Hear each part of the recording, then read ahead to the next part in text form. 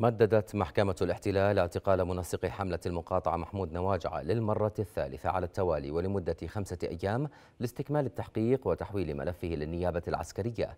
انتهاكات يسعى الاحتلال من خلالها لترهيب النشطاء وداعمي حركة المقاطعة. نتابع المزيد في هذا التقرير. في الثلاثين من تموز المنصرم عشية عيد الأضحى المبارك.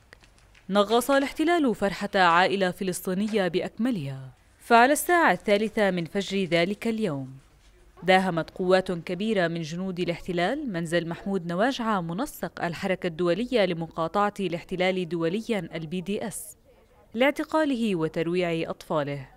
نواجعة لا يزال بالأسر وممنوع من لقاء محاميه. طبعا إحنا ممنوعين نشوفه ممنوعين المحامي يشوفه كمان ما في عنا أي خبر عنه.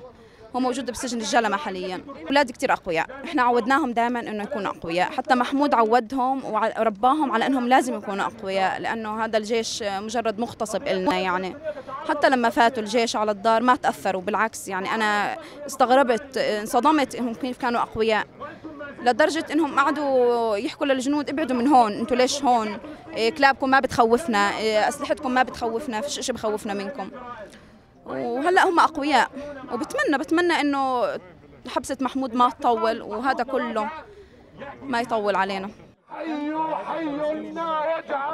وقد شارك العشرات في وقفة تضامنية أمام ممثلية ألمانيا في رام الله للضغط على ألمانيا بصفتها الرئيس الدوري للاتحاد الأوروبي لمطالبتها بالتحرك الفوري ومضاعفة جهودها من أجل إجبار الاحتلال على الإفراج عن محمود. ووقف انتهاكاته بحق المدافعين عن حقوق الإنسان. حركة المقاطعة تنمو بشكل هائل مؤخرا. BDS وصلت لكل أرجاء المعمورة وباتت تشكل كما تعترف حكومة الاحتلال تهديدا استراتيجيا على كل منظومة الاحتلال والاستعمار الإسرائيلي. نحن اليوم ندعو لعقوبات جدية قانونية لإيقاف كل منظومة الابارتايد والاستعمار الإسرائيلي، وهذا ما يقلق نظام الاحتلال. الضغط علينا كمدافعين عن حقوق الإنسان متزايد بشكل هائل ونتعرض لمنع السفر، نتعرض لاعتقالات، نتعرض للكثير من الضغوط من قبل سلطات الاحتلال والابارتايد الإسرائيلي، ولكننا صامدون في هذه الحركة ونستمر لأن شعبنا اختار هذه الحركة لتمثله في هذا الشكل من أشكال النضال، وهي أهم حركة تضامن مع نضال شعبنا حول العالم. منذ تأسيس حركة المقاطعة وحكومة الاحتلال تتبنى القوانين العنصرية وتفرض العقوبات على الناشطين الفاعلين بالحركة أو المؤيدين لها لتخويفهم. لكن وبعد كل انتهاك يزداد النشطاء قوة وإصرار على فتح الاحتلال.